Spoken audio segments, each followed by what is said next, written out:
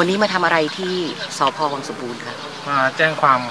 แจ้งความคดีครับผมครับผมแจ้งความดำเนินคดีกับเจ้าพนักงานนะครับ ก็มีเจ้าพนักงานปฏิบัติหน้าที่โดยไม่ชอบ หรือละเว้นหน้าที่โดยไม่ชอบตามประมวลอาญามาตรา 157 ครับ แล้วก็มีการเรียกรับสินบนครับผมเป็นมาตรา 149 ครับ แล้วก็มีการกักขังหน่วงเหนี่ยวของน้องครับตามมาตรา 309 310 ครับผม